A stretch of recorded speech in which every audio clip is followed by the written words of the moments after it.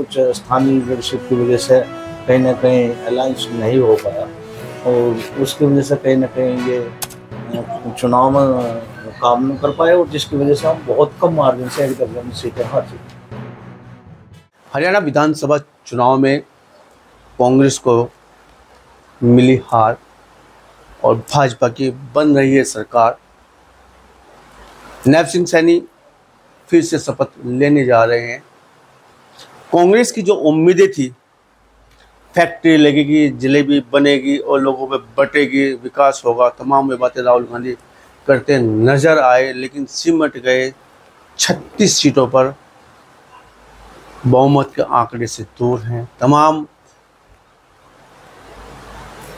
मीटिंगों का दौर जारी है समीक्षा का दौर जारी है। हाईकमान मीटिंग ले रहा है, तलाश रहा है उन वजह को जिनकी वजह से हार का सामना करना पड़ा है। बात अगर हरियाणा के चुनाव की की जाए, सहारनपुर जनपद से लगा हुआ हरियाणा, सहारनपुर के नेता भी वहाँ पे चुनाव के दरमियान जाते रहे हैं, जीत के दावे करते रहे हैं, जनता की आवाज़ भी उभर रही थी, आ रही थी कि हरियाणा में कांग्रेस आ रही है। कांग्रेस को मौका जनता दे रही है, लेकिन ऐसा नहीं कुछ हुआ है। कांग्रेस के नेताओं से जब भी हमारी बात हुई है, उन्होंने कहा कि जाए इस बात हो जाए, आर पार और बनेगी कांग्रेस की सरकार। प्रदेश सचिव उत्तर प्रदेश, अशोक जी सैनी जी हमारे साथ में बातचीत करेंगे, चर्चा करेंगे, इस बात को लेकर विश्लेषण भी करेंगे। आखिर वजह क्या रही है? फैक्ट्री जलेबी की चल क्यों नहीं पाई है? जनता में जलेबी बटनी थी, रोक क्या लगा दी गई है? और बहुमत के आंकड़े से कांग्रेस आखिर इतनी दूर क्यों? रुक खड़ी हो गई है। अशोक जी आपका बहुत बहुत स्वागत है जी न्यूज़ में। आपका भी धन्यवाद बहुत बहुत मोदी भाई और जी डी न्यूज़ के चैनल भी बहुत बहुत धन्यवाद। पार्टी के वरिष्ठ नेता जी। राहुल गांधी हरियाणा जाते हैं जलेबी की फैक्ट्री के सपने दिखाते हैं। जलेबी की फैक्ट्री लगेगी जलेबी सब में बटेगी सरकार कांग्रेस की बनेगी। ना फैक्ट्री लगी ना जलेबी बटी और ना सरकार बनी वजह आखिर क्या मानते हैं? देखिए हरियाणा की जनता का संदेश जो होता है, उसे स्वीकार करना पड़ता है। कहीं ना कहीं माहौल निश्चित रूप से कांग्रेस के पक्ष में था और हवा भी कांग्रेस के पक्ष में थी और जो कांग्रेस ने कहीं ना कहीं काम किया, वो जनता को पसंद भी थे। निश्चित रूप से कहीं ना कहीं कुछ आपसी फूट वाजिश है, कहीं ना कहीं हमें पार्टी को नुकसान निश्चित रूप से हुआ है। जो सीनियर लीडरशिप थी हमारे, उसमें कहीं ना कहीं खींचातानी हुई है, उससे निश्चित रूप से पार्टी को नुकसान होता है।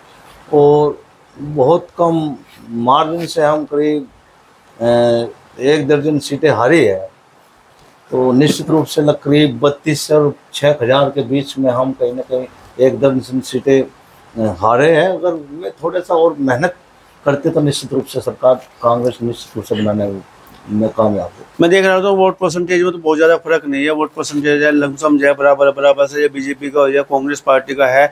लेकिन मुझे लगता है कि काश आपसे हाथ मिल जाता, झाड़ू कांग्रेस के हाथ में होती तो रिज़ल्ट कुछ और ही होता। कांग्रेस गठबंधन की सरकार शायद वहाँ पर बन जाती। है क्या बड़ी गलती, बड़ी चूक हुई है राहुल गांधी से कि आम आदमी पार्टी को इस चुनाव में साथ नहीं लिया? हम देखो, निश्चित रूप से आपका कहना जो है, वो कथन सत्य हो सकता था। राहुल गांधी जी ने तो कहा है था। जो अलायंस था, उसके बारे में कहा था, लेकिन कुछ स्थानीय लीडरशिप की वजह से कहीं ना कहीं अलायंस नहीं हो पाया। और उसकी वजह से कहीं ना कहीं ये चूक हुई, और जो हम कुछ सीटा बत्तीस वोट से लेकर करीब छः हज़ार वोट तक जो एक दर्जन सीटें हारे। तो हो सकता था कि हम जीत जाते परिपूर्ति वहाँ पे हो जाती है उसकी हाँ, जाते। लेकिन कांग्रेस की नीयत देने की नहीं थी इस चुनाव में। कांग्रेस की नीयत जो है छीनने की थी। छीनना चाहते हैं थे कि जय मुख्यमंत्री का पद छीनना चाहते थे। लड़ाई लड़ी जा रही थी गुटबाजी हो रही थी। कुमार सलेजा की बात की जाए और बात की जाए हुड्डा साहब की जाए वो चुनाव नहीं लड़ रहे थे। निगाह टिकी हुई थी, मुख्यमंत्री का पद किसके पास रहेगा? ऐसे जय आम आदमी पार्टी के जब गठबंधन की बात आई, सीटों को लेकर समन्वय नहीं बन पाया। सीटें जितनी आम आदमी पार्टी को चाहिए थी, उस पर कांग्रेस एग्री नहीं हुई। हार का सामना करना पड़ा।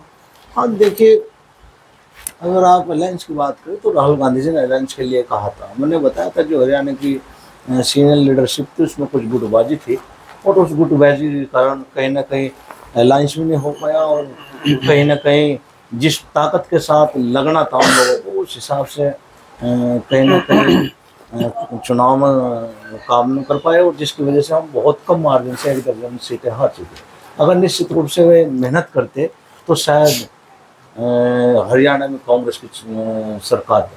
आप मानते हैं कि जो कांग्रेस कमज़ोर हाथों में है क्या? हाईकमान के अगर हम बात करें। नहीं ऐसा तो नहीं कह सकते। लगातार राहुल गांधी मौजूद की बात नहीं मनवा मनवा पा रहे ना राहुल गांधी? लगातार अगर कहे तो राष्ट्रीय अध्यक्ष की बात नहीं मानी जा रही है। चुनाव लड़ा जा रहा है हुड्डा कांग्रेस के नाम पे। देखिए कांग्रेस के नाम पे तो चुनाव नहीं लड़ेगा वहाँ पे। हम मानता हूँ लेकिन कहीं ना कहीं कुछ जब लीडरशिप प्रदेश लेवल पर कुछ कहीं ना कहीं आपस में गुटबाजी की भेंट चढ़ जाती है तो उसमें निर्णय लेना बड़ा डिफ़िकल्ट हो जाता है। और उसमें लगातार, वैसे तो हमारे हाईकमान सारे जो है, हरियाणा पर नज़र रखोगे लेकिन जो गुटबाजी थी उसे लास्ट टाइम में जो है कहीं ना कहीं ख़त्म करने का काम किया, पर तब तक जनता में कहीं ना कहीं रुख बदल चुका था, जो कहीं ना कहीं बैकवर्ड क्लास था, जो बहुत चुपचाप वोट करता है। वो कहीं ना कहीं बैकवर्ड वोट, कहीं ना कहीं हमारे विपक्ष पार्टी के खाते में कहीं ना कहीं जा चुका था, जो उसका रुझान कांग्रेस की तरफ़ था। वो वोट की वजह से कहीं ना कहीं दूसरी पार्टी की तरफ़ में रुझान कर चुका था क्या मानते हैं कि जो कांग्रेस पे भारी पड़े नैब सिंह सैनी वजह आखिर क्या रही है नैब सिंह सैनी को इतने भारी पड़ने की? देखिए एक बैकवर्ड का चेहरा था नायब सिंह सैनी जो हर सीट पर लगभग अस्सी नब्बे सत्तर हज़ार के आसपास बैकवर्ड की वोट थी हरियाणा में।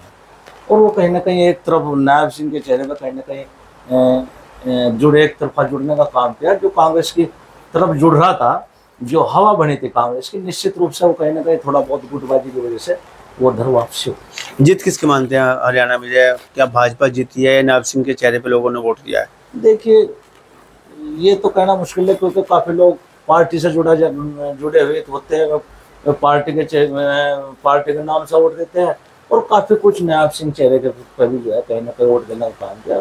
दोनों पे ही कहीं ना कहीं निश्चित रूप से उनका कहीं ना कहीं है हाँ नायब सिंह का उनका निश्चित रूप से बैकवर्ड जो चेहरा था, उसका फ़ायदा निश्चित रूप से भाजपा को मिल रहा है। एग्जिट पोल ने जब बड़ा ब्लड का संचार करने का कार्य आपके अंदर किया है कांग्रेसों के अंदर जो है ब्लड जो है फुलारे मार रहा था, ब्लड जो है हुंकारे मार रहा था, जीत सुनिश्चित कर बैठे थे कांग्रेसी।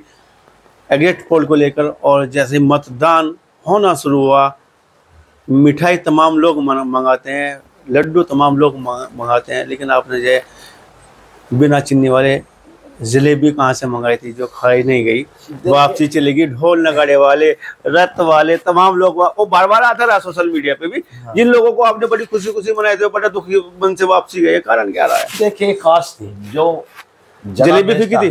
जलेबी जलेबी फीकी थी मानते हाँ? देखो जो जने देश हरियाणा का वो निश्चित रूप से कहीं ना कहीं अगर देखा जाए तो निश्चित रूप से कांग्रेस के पक्ष में जहाँ भी जाओ तो निश्चित रूप से कांग्रेस के पक्ष में दिख रहा था।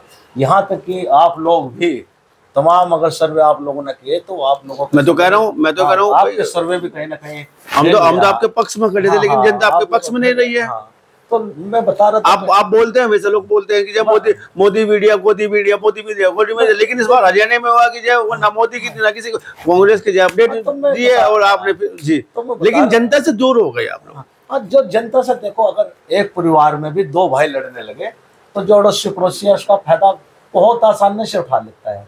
ऐसे ही कुछ हमारे सीनियर लीडर जो है थोड़ा बहुत गुटबाजी जो हुई उस गुटबाजी में जो बैकवर्ड का वोट हमारी तरफ़ रुझान किया था कांग्रेस के पक्ष में वोट देने का काम करने जा रहा था तो वो कहीं ना कहीं गुटबाजी की भेंट चढ़ गई और वो जो का तो रिटर्न जो है, कहीं ना कहीं वापसी वो भाजपा की तरफ़ ही हो गया जिसकी वजह से भाजपा को फ़ायदा लोकसभा चुनाव की अगर बात की जाए, लोकसभा चुनाव में राहुल गांधी के हाथ में संविधान था, संविधान बचाओ, तमाम तरह की बातें उन्होंने की है, तमाम लोगों तक तो अपने संदेश देने का कार्य किया है, तमाम लोगों ने उनका वोट करने का कार्य भी कांग्रेस को किया, गठबंधन को किया है। क्या लोग समझ चुके हैं कि राहुल गांधी की मंशा सही नहीं है, संविधान को लेके, राहुल गांधी की मंशा नहीं है, सरकार को लेके राहुल गांधी या कांग्रेस की मंशा नहीं है, आम जन के साथ, उनके हितों को लेके। नहीं, देखो, जनता तो आज राहुल गांधी जी को लगातार पसंद कर रही है, लगातार देख रहे हैं जनता में और पहले क्या स्थिति तो और अब क्या है? लगातार कांग्रेस का ग्राफ हर राज्य में बढ़ता जा रहा है।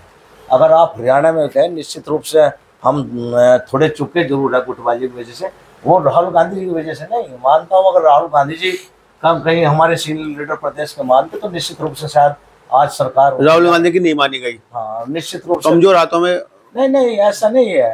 मैं बता कुछ कभी कभी गुटबाजी हावी हो जाती है। जैसे ज़िले में भी गुटबाजी हावी हो जाता है उसमें निर्णय कहीं ना कहीं बड़ा सोच समझ कर लेना पड़ता है कहीं ना कहीं। तो वो गुटबाजी खत्म की है लेकिन गुटबाजी तब तक खत्म हुई तब तक चुनाव का लास्ट हाथ हुआ था। उस टाइम तक कहीं ना कहीं जनता का जो, कहीं ना कहीं रुझान जो था कांग्रेस की तरफ़, ना कहीं ना कहीं थोड़ा बहुत वापसी कहीं ना कहीं बीजेपी की तरफ़ घुमा है, जिससे कि हमें बहुत थोड़ा बहुत नुकसान हुआ है। वरना जो एक दर्जन सीट हमारे तो एक दर्जन कांग्रेस के पक्ष में होती तो सरकार कांग्रेस की बनती। अशोक जी, लगता है कि जो टिकटों का बंटवारा वहाँ पे सही नहीं हो पाया, जिसका जो खामियाजा भुगतना पड़ा, गुटबाजी उभर कर सामने आई है। लोग बाग सपोर्ट नहीं कर पाए उन लोगों को जिनको टिकट जो कांग्रेस, हाईकमान ने दिया था। हाँ निश्चित रूप से कहीं ना कहीं, देखो चूँकि एक टिकट होता है, मांगने वाले आठ आठ, दस दस, पंद्रह पंद्रह लोग हो जाते हैं जो वो टिकट एक को मिलता है, और जिस जब एक को टिकट मिलता है तो वो अदर लोग थोड़े बहुत या तो वे निष्क्रिय हो जाते हैं, पार्टी के में जिस तरीके से काम करना चाहिए, उस तरीके से काम नहीं कर सकते, और उन लोगों को समझाना, हमारा जो प्रदेश के सीनियर लीडरशिप होते हैं, उन लोगों को समझाने का काम करना होता है, वे समझाते हैं वो कहीं ना कहीं फिर वो चूँकि वे खुद गुटबाजी में कहीं ना कहीं बढ़ चुके थे। तो हमारा जो स्थानीय लेवल का कार्यकर्ता था वे कहीं ना कहीं ये संदेश नहीं दे पाए। हम मजबूती के साथ करें और कहीं ना कहीं हर आदमी को सरकार आने पर शामिल किया जाता है। अ- अंतिम सवाल आपकी ओर आ रहा है। लोकसभा चुनाव के बाद जो है राहुल गांधी और कांग्रेस का जो है ग्राफ बढ़ा था, लेकिन हरियाणा चुनाव ने ग्राफ को फिर डाउनफॉल लाने का कार्य किया। गया यूँ कहा जाए फैक्ट्री नहीं चल पाई जलेबी की उत्तर प्रदेश में 2027 के चुनाव पर इसका क्या फ़र्क पड़ने वाला है? डाउनफॉल जब कांग्रेस चली जा रही है। नहीं डाउनफॉल तो नहीं कह सकते। भाई हम बहुत नियर आप अगर देखोगे तो लगभग जो वोट परसेंटेज है वो भाजपा के बराबर परसेंटेज है। और हम एक दर्जन सीट जो बहुत कम मार्जिन से आ रहे हैं अगर उन्हें मिलाया तो सरकार बन गई थी। जब वोट परसेंटेज लगातार भाजपा के बराबर हमारा है तो निश्चित रूप से भाग्य तो अ, हमारी पार्टी का कि हम सरकार नहीं बना पाए। चूक। हाँ चूक। क्योंकि बराबर वोट परसेंट दोनों पार्टियों का है लेकिन एक पार्टी सरकार बना लेती है और एक एक पार्टी कहीं ना कहीं सरकार बनाने से चूक जाती है। तो कहीं ना कहीं ये भाग्य भी है निश्चित रूप से। ऐसा नहीं है कि कांग्रेस पार्टी का ग्राफ नहीं बढ़ा तो ग्राफ आप पिछले चुनाव में देख लीजिए और अब के चुनाव में देख लीजिए। सत्ताईस के मिशन को कैसे देखते हैं हाल फ़िलहाल? सत्ताईस में निश्चित रूप से यूपी में जिस तरीके से अलायंस चल रहा मजबूती के साथ जैसे लोकसभा में तिरालीस सीटें जीतने का काम किया, यहाँ सहारनपुर मंडल तो लग रहे हैं सफाया ही हुआ मैं मानता हूँ। और इस तरीके से मैं मानता हूँ कि दो हज़ार सत्ताईस में अलायंस की सरकार निश्चित रूप से बनने का काम।